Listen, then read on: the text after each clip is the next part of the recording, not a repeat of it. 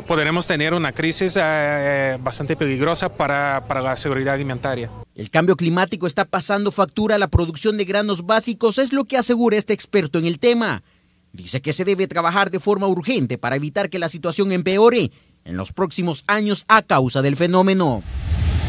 Eso está provocando un acúmulo eh, de un prejuicio bastante representativo a nivel de, la producción de, los pequeños productores sobre el consumo de alimentos, sobre el precio. O sea, eh, estamos experimentando eso cada vez más, de manera tal que es eh, imperativo que trabajemos la adaptación al cambio climático, pero también cómo manejamos las estrategias para que los pequeños productores puedan estar cada vez más preparados a esos eventos que son cada vez más frecuentes y inevitables.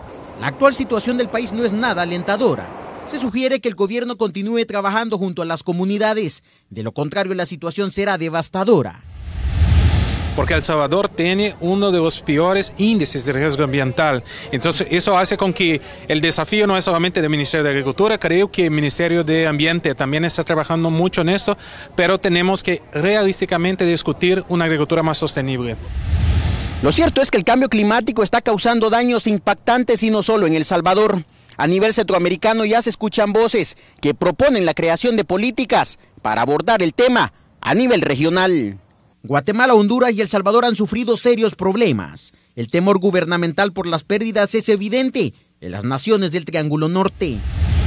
La productividad de nuestro país está en su mayoría en el área rural y si estas familias son afectadas, pues vamos a tener ciertos problemas con programas que están eh, desarrollándose en Guatemala con bastante prioridad, como son el combate a la desnutrición, el tema de hambre cero. En el país la falta de lluvias provocó la pérdida de al menos 8 millones de quintales de granos básicos, equivalentes a 85 millones de dólares.